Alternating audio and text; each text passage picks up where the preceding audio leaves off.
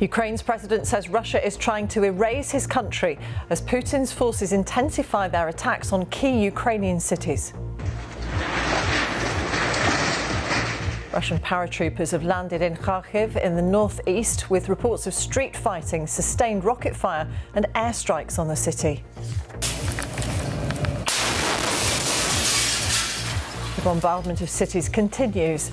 Here, a tank shell, an apartment building northwest of the capital Kiev. They have an order to erase our history, to erase our country, to erase us all. A 40 mile long convoy of Russian armoured vehicles remains about 15 miles north of the capital.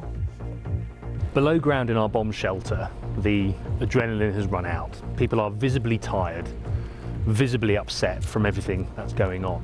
And when you come up, it's this empty. And you can feel the tension.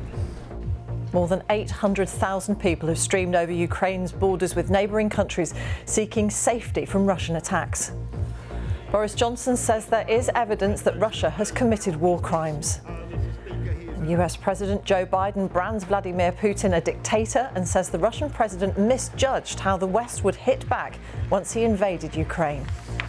Athletes from Russia and Belarus will have to compete under a neutral flag in the 2022 Winter Olympics in Beijing.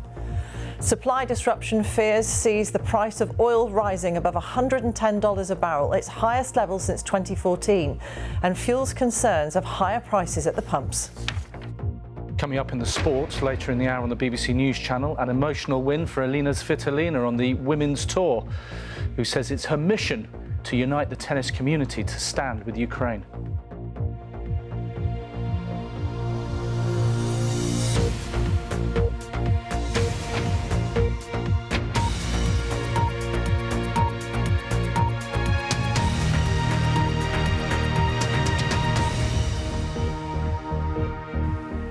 Good afternoon and welcome to BBC News. Russia's invasion of Ukraine is in its seventh day and fighting continues across much of the country. Russian paratroopers have landed in Ukraine's second largest city, Kharkiv, with street fighting and missile strikes reported there. The situation is unclear in the Black Sea port of Kherson, where Russia claims it's taken control, but the city's mayor disputes that it has fallen. There's been little reported movement of the huge Russian military convoy on a route into the capital. Well, looking at the situation in Ukraine today, the areas in uh, red here show the parts of the country now under Russian control, with the main battles highlighted in several key cities and regions. Meanwhile, hundreds of thousands of people continue to flee. The United Nations says more than 800,000 have now left. Our first report is from our Kiev correspondent, James Waterhouse.